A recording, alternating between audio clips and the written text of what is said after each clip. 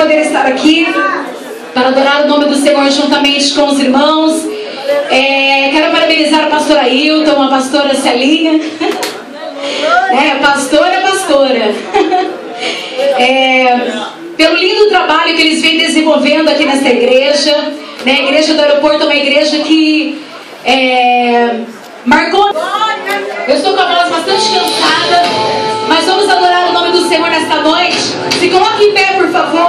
Vamos juntos adorar o Senhor.